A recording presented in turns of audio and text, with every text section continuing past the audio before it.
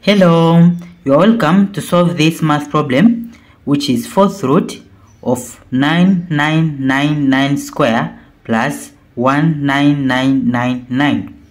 So it will be equal to fourth root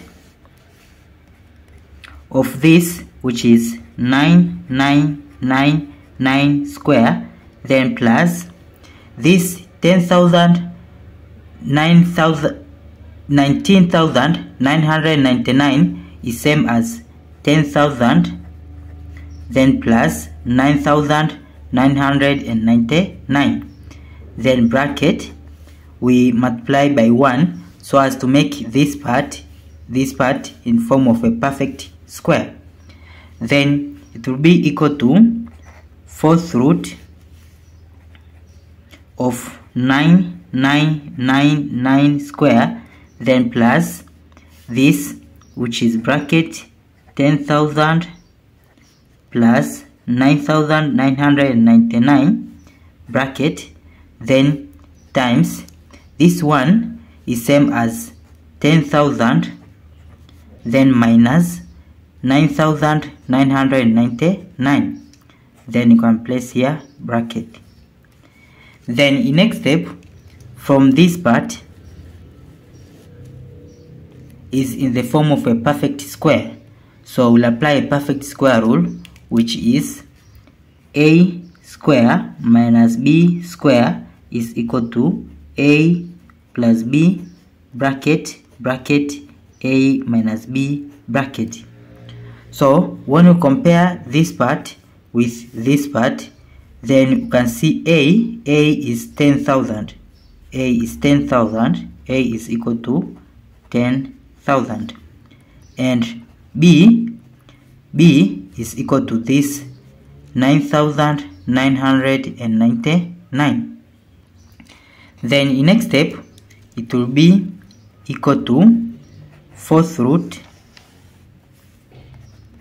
of this 9999 square then plus because in this part it is in this form so change into this form of a square minus b square. So a square it is 10,000 then minus b square it will be 9,999 square. Then in next step it will be equal to this 9999 square minus 9999 square it is 0 so this and this will cancel. Then it will be fourth root of this 10,000 square. Then in next step it will be equal to this 10,000 square. Then this fourth root is same as bracket power of 1 over 4 then to simplify this will cancel by 1 and this by 2 so it will be power of a half. Then it will be equal to 10,000 power of a half which is equal to 10,000 10,000 is same as 100 square.